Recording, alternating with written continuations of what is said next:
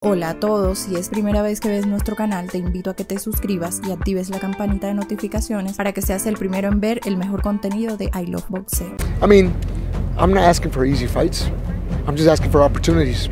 There's a lot of talented fighters down in Mexico. There's a lot of fighters who I know that could be world contender fighters who can end up becoming world champions. All they need is a chance. Chance is everything.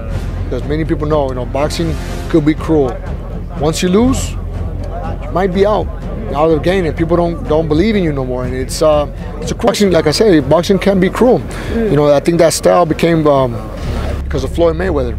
There's a reason why he was in his undefeated record, but I feel everybody's trying to protect that undefeated record and, and, and not take the big fights. That kind of uh, hurt the sport of boxing. Oscar Valdés pasó de estar invicto 10 años y ser uno de los mejores superpluma a sucumbir en dos de sus últimas tres apariciones, lo que le provocó una crisis de la cual se ha recuperado. El ex monarca mundial mexicano reveló lo difícil que es perder y culpó a Floyd Mayweather de que los campeones actuales no tomen grandes peleas. El medallista olímpico en Beijing 2008 logró tener marca de 29-0, hasta que en abril de 2022 fue derrotado por primera vez en su pelea contra Shakur Stevenson. Luego de vencer a Adam López, Oscar Valdés volvió a ser aplastado, en esta ocasión por Emanuel Vaquero Navarrete. Su compatriota le dejó el rostro severamente dañado tras el castigo que le propinó, el invicto de Floyd Mayweather, la razón por la que se temen las peleas grandes. Valdés señaló a Mayweather como el culpable de que los campeones actuales no tomen grandes peleas por miedo a perder su invicto. El mexicano declaró para